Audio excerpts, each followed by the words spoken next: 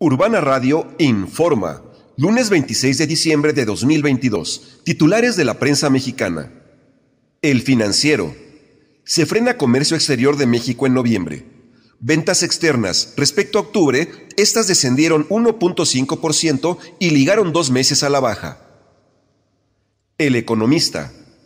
Frena la actividad económica tras hilar tres meses con crecimiento. Registra en octubre el mismo nivel que el mes previo. Reforma. Tiene Poder Judicial un rezago histórico. Dejan 525 mil casos pendientes. Complica escenario la reforma laboral. Falta instalar 46 tribunales más.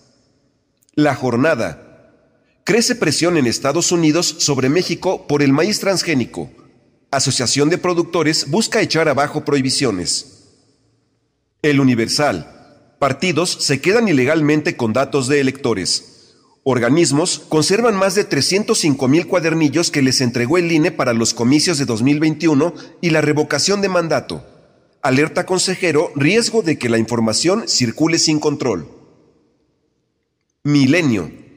Iglesia vende en 100 pesos protocolo contra abuso sexual de sacerdotes.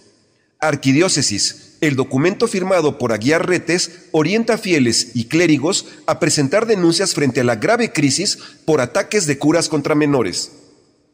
Excelsior, casas de empeño ante larga cuesta de enero.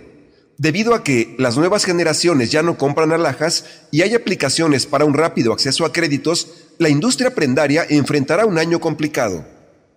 El tipo de cambio del dólar a la apertura de hoy en Banamex es de 18 pesos con 75 centavos a la compra y de 19 pesos con 84 centavos a la venta. Para Urbana Radio informó Guillermo Galvez.